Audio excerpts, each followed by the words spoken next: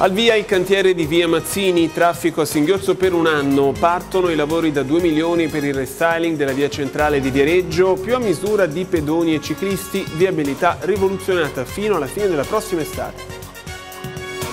Spiaggia più sicura ma meno libera, prime settimane di attività per la nuova spiaggia attrezzata lungo il molo, allontanati spacciatori malintenzionati ma c'è chi rivuole l'arenile completamente accessibile. Bloccati in porto con l'incubo dei naufragi, lo sfogo dell'equipaggio della Open Arms, la ONG in fermo amministrativo al porto di Marina di Carrara. Abbiamo costi di manutenzione, soprattutto però la paura di altri morti in mare. Calcio, il derby versiliese va al bian- in bianconero in promozione, il Viareggio batte il Pietrasanta nell'andata del primo turno di Coppa Italia, in eccellenza finisce 0-0 fra Camaiore e Massese. Ben ritrovati con l'informazione del TG Noi, le notizie dalla Versilia e partiamo da Viareggio, dunque dal maxi cantiere in allestimento proprio in questi giorni nella centralissima via Mazzini, cantiere che rivoluzionerà il traffico a blocchi ma per oltre un anno. Vediamo insieme dunque e capiamo come cambierà quella che è una delle arterie principali della città. Almeno un anno di lavoro per un maxi investimento da 2 milioni di euro. Parte in queste ore il cantiere di via Mazzini. La strada centrale di Viareggio che collega la stazione al mare cambierà volto e anche funzionalità. È previsto il rifacimento di tutti i sottoservizi, dell'illuminazione pubblica, dei marciapiedi che saranno più ampi a favore dei pedoni. Sarà realizzata una pista ciclabile con alberature e un arredo urbano ispirato a Moses Levi che visse proprio in quella strada. Sarà una nuova strada, come abbiamo sempre detto, un nuovo corso centrale per la nostra città, un'area che collegherà il mare alla stazione passando per il nuovo mercato e che costituirà un po' la dorsale, quello che da sempre è eh, sulla, sulla, pianta diciamo, della città di Viareggio la via Mazzini, cioè una grande dorsale della città che diventi anche un posto dove si va volentieri a passeggiare, a camminare, a fare acquisti. Il cantiere, in allestimento, entrerà nel vivo venerdì con i primi scavi, 300 giorni lavorativi previsti, nei quali la viabilità sarà il tema principale, una convivenza che non si annuncia facile data la mole di traffico che interessa via Mazzini, specie in questi primi mesi quando il cantiere interesserà l'area delle scuole elementari.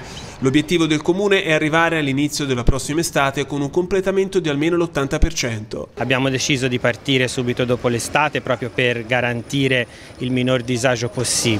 Eh, è chiaro che un anno di lavori sono un periodo importante, cercheremo con la Polizia Municipale di gestire al meglio eh, le possibili criticità. Ci sarà una chiusura a traffico per lotti, i lotti saranno fatti eh, a isolati chiaramente, i primi due saranno interessati dal primo lotto di interventi e poi procederemo partendo appunto da Piazza Dante e andando verso il mare in modo tale da poter creare il minor disagio possibile e da garantire sempre una fruibilità da, da, della strada da parte dei residenti e dei cittadini. Restiamo a Viareggio, 16 pini abbattuti nella pineta di Levante, gli ambientalisti chiedono un piano di monitoraggio e di prevenzione dal parassita. Sentiamo. In pochi giorni ha cambiato volto questo scorcio della pineta di Levante a Viareggio. Siamo sul viale dei Tigli, a ridosso dell'ex Collegio Colombo, futura sede dell'Istituto Alberghiero. 16 pini domestici sono stati abbattuti dal comune. Le alberature erano state attaccate dal blastofago, un coleottero distruttore del pino. La regione toscana in questi casi raccomanda il rapido abbattimento delle piante ammalate per evitare il proliferare dell'insetto e garantire l'incolumità pubblica. I lavori di questi giorni, affidati d'urgenza dal comune alla cooperativa La Versiliana, non sono certo passati inosservati. Di fatto è sparito un pezzo di pineta in Darsena, fruita dai residenti come parco cittadino. Ho visto all'inizio che è incominciato uno a diventare più giallo, diciamo così, e poi col tempo, ma poco tempo, eh, ho visto che quelli vicini hanno subito preso, infatti ora non so quanti ne hanno tagliati, ma erano già diversi che erano proprio gialli secchi, in maniera molto veloce, in maniera molto veloce. Ora io esattamente, ma nel giro di un paio d'anni ho visto un cambiamento, forse anche meno. Eh. Ci sono timori per i pini sulla sua struttura? Ma io spero di no, spero di no e spero che non abbia attaccato anche quest'altri, perché insomma noi comunque siamo in pineta. No? La bellezza è quella lì, insomma. Resta da capire se quelli appena eseguiti sono gli unici abbattimenti o se ne seguiranno altri con un ulteriore impatto sulla zona. Dopo la strage di Pini causata dal mazzo Coccus in questi anni nella macchia lucchese, a chiedere un monitoraggio e un piano di prevenzione da questo nuovo parassita è il Partito Comunista Provinciale, che ha scritto al sindaco di Viareggio, alla Regione Toscana e al Parco Migliarino Sarrossore Massacciuccoli una strategia, chiede il PC, che non porti necessariamente al taglio delle piante come unica misura percorribile. Andiamo lungo il molo da spiaggia libera a spiaggia libera attrezzata, decisione ricorderete presa dall'amministrazione per allontanare eh, malintenzionati, spacciatori, fenomeni di violenza in quel tratto di Arenile. Siamo andati a vedere dopo un paio di settimane eh, circa del nuovo servizio. Dallo scorso 22 agosto e fino alla fine del mese di settembre sarà la direzione del Bagno Flora, uno dei più antichi d'Italia, vera istituzione, a preoccuparsi di restituire un po' di tranquillità sulla striscia di spiaggia libera del lungomolo, ostaggio di furti, liti e spaccio. La giunta del Ghingaro in agosto ha votato la variazione di destinazione d'uso ed ha affidato allo stabilimento balneare Flora, a titolo gratuito e sperimentale, la gestione dell'arenile.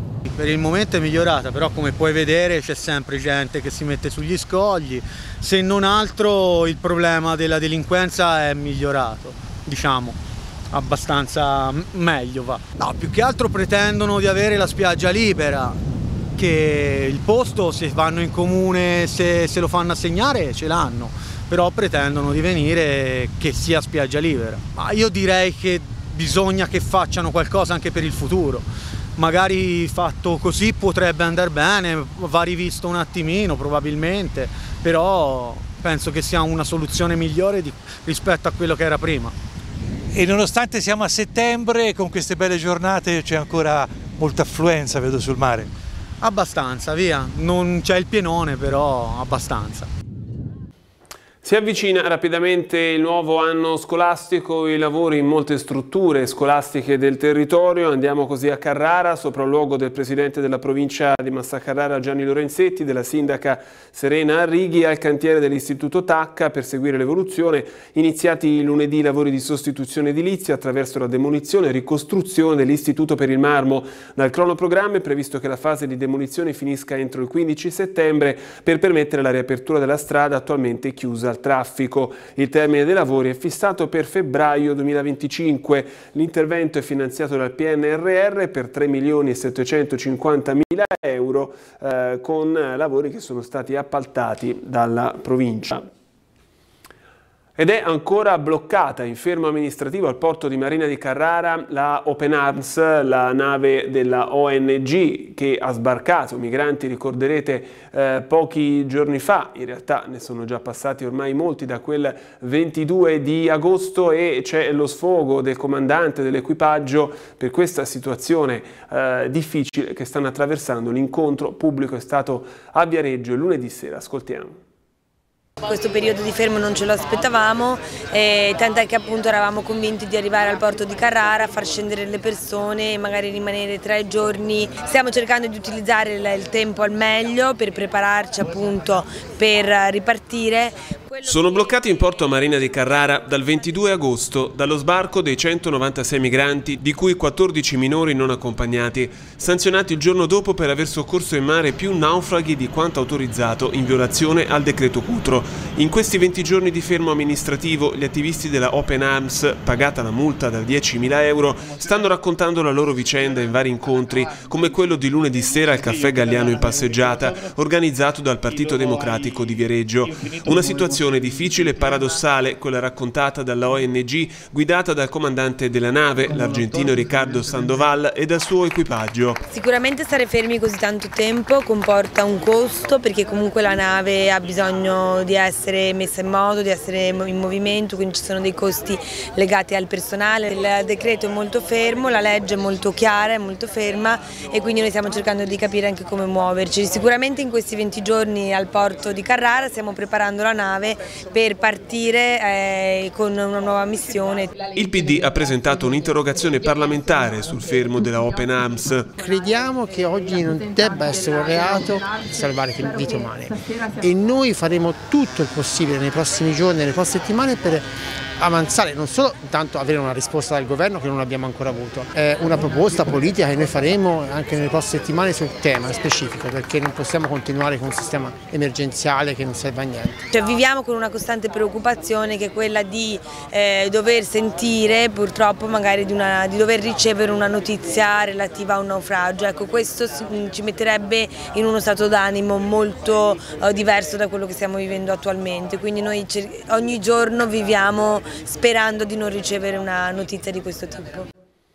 Cambiamo argomento, la pulizia dei corsi d'acqua organizzata sabato scorso dal Consorzio di Bonifica ha visto la partecipazione più alta di sempre, con 40 associazioni di volontariato impegnate a togliere plastica dai fiumi in Lunigiana, Massa, Versilia, Vecchiano, Lucchesi e Piana. La lotta alle plastiche ingaggiata dal Consorzio di Bonifica interessa proprio tutti coloro che hanno deciso di adottare un corso d'acqua e di prendersene cura attraverso il monitoraggio e soprattutto la rimozione dei rifiuti. Abbiamo assistito a un evento storico, spiega il presidente eh, del Consorzio Ridolfi sia per numero di partecipanti, in tutto oltre 300 persone, che per numero di mh, punti di raccolta diffusi in quasi tutto il territorio. In Versilia erano 14 le associazioni coinvolte in tre punti differenti delle sponde del lago di Massaciuccoli. Tutto il materiale raccolto è stato conferito in discarica.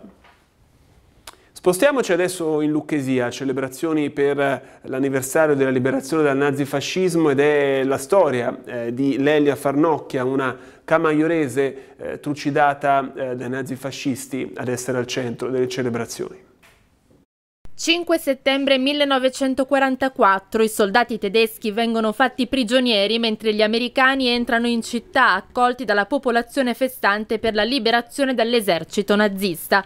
Sono passati 79 anni e Lucca ricorda quel giorno commemorando i martiri e gli eroi che hanno permesso con il loro sacrificio di raggiungere la libertà. Il comune con un'azione concreta ha voluto onorare la memoria di una giovane donna uccisa dalla barbarie nazifascista, Leila Farnocchia, a lei, con una cerimonia alla presenza delle autorità, è stata intitolata una strada nella frazione di Nozzano. E oggi, nel 79 anniversario della liberazione di Lucca dal nazifascismo, fra le varie attività ci è sembrato simbolicamente importante mettere l'intitolazione di una strada a Leila Farnocchia, un percorso che era cominciato amministrativamente con la scorsa amministrazione e che oggi portiamo a compimento. Leila era nata a Camaiore nel 1903 e viveva con la madre vedova di guerra, conducendo una vita schiva e prodigandosi ad aiutare nei compiti a casa diversi ragazzi della sua comunità. Fu arrestata senza alcun motivo da un soldato nazista e portata nella prigione degli orrori allestita nella scuola di Nozzano fu torturata per poi essere fucilata il 25 agosto del 44. La tragedia di Leila fa, par fa parte della guerra, fa parte di tutte le tragedie che la guerra si è portata dietro. È una vicenda triste ed è quello che porta alla guerra. Ecco cos'è la guerra. La guerra stravolge tutto, stravolge i ruoli sociali, stravolge i rapporti, azzera la quotidianità. Questo è quello che è toccato a lei e a tanti altri come lei. Quindi fu una, una delle tante rappresaglie che tristemente dobbiamo ricordare e raccontare anche alle nuove generazioni. Noi torniamo a Viareggio, il progetto di un nuovo oratorio in aperta campagna portato avanti dal parroco Don Luigi Pellegrini. Sentiamo. Realizzare un luogo di fede e aggregazione nella tranquilla campagna tra Viareggio e Torre del Lago in via della Fontanella. Il sogno di Don Luigi Pellegrini, parroco di Santa Rita nel quartiere Campo d'Aviazione, è quello di costruire un oratorio che possa servire come luogo di incontro e spiritualità per la comunità locale. Don Luigi, con la sua energia e dedizione, ha messo in moto questo progetto che va ben oltre la costruzione di un edificio. L'oratorio sarà un punto di riferimento per le famiglie della zona, un luogo in cui ritrovarsi per momenti di preghiera, di condivisione e di crescita spirituale. Tuttavia, realizzare questo sogno non è un compito facile e il vulcanico uomo di fede sa che non può farcela da solo. È per questo che ha lanciato un appello alla comunità locale chiedendo il contributo di tutti, non solo dal punto di vista economico, ma anche attraverso la partecipazione attiva. Il progetto prevede la costruzione di un edificio moderno e accogliente, con spazi per preghiera, catechesi, la biblioteca e un'area per attività ricreative e sociali. Sarà un centro aperto a tutte le età, dove giovani e anziani potranno trovare un luogo di sostegno e crescita. Per finanziare questa impresa, Don Luigi sta cercando il supporto di imprenditori locali, aziende e singoli cittadini. Ma, come abbiamo detto, non è solo una questione di denaro. Il prete crede che la comunità debba essere coinvolta attivamente nella realizzazione di questo progetto. Intervistato al telefono, Don Luigi ha dichiarato che questo oratorio non è solo una struttura, ma un simbolo di unità e fede per la nostra comunità. Veniamo adesso al calcio, la Coppa Italia con i risultati sia in eccellenza che in promozione. Sentiamo Roy Lepore. Per la Coppa Italia di Eccellenza domenica si sono giocate le gare di andata. Il Camaiore di Luca Polzella ha pareggiato 0-0 in casa contro la Massese, pur avendo avuto alcune opportunità per sbloccare il risultato. Due reti annullate al Blu Amaranto, la prima per fuorigioco ad Amico, la seconda a Gelaci per un'azione viziata da un fallo in attacco. Nel ritorno c'è in palio il passaggio del turno, pareggio 1-1 tra Pro Livorno e River Pieve. In promozione il Viareggio matricola del campionato ha vinto in pieno recupero in trasferta contro il Pietrasanta 1-0, quando sembrava che il pareggio fosse il risultato acquisito. È arrivata però la rete di Gabriele Ceciarini che in mischia è stato più veloce di tutti a battere Mariani, che era subentrato nella ripresa Samuele Chicchiarelli che aveva avuto l'opportunità per sbloccare il risultato. Il Pietrasanta ha colpito un palo con Pinelli. Per la gara di ritorno prevista domenica 10 il Viareggio ha chiesto lo spostamento alla federazione avendo quattro giocatori convocati con la nazionale di beach soccer Carpita Bertacca, Fazzini e Pugliese. In attesa di margini di miglioramento sia i bianconeri che i biancocelesti hanno dimostrato di poter essere protagonisti in campionato. Ha preso il via intanto la campagna abbonamenti del Viareggio al Marco Polo Sport Center, la società monterà una tribunetta in metallo per poter ospitare i tifosi. È terminata 0-0 tra Pieve Fosciana e Castelnuovo. Tornando sulla Coppa Italia Promozione, la partita di ritorno del primo turno tra eh, Viareggio e Pietrasanta, quella del 10 settembre, è rinviata a data da destinarsi. Le ragioni eh, riguardano entrambi, entrambe le squadre, ovvero che eh, vi sono giocatori convocati con la nazionale di beach soccer, tre per il Viareggio e uno per il Pietrasanta. E mi fermo qua, vi ringrazio dell'attenzione per essere stati con noi, vi lascio ancora all'informazione del TG Noi e alla programmazione di Noi TV. Vi auguro una buona serata.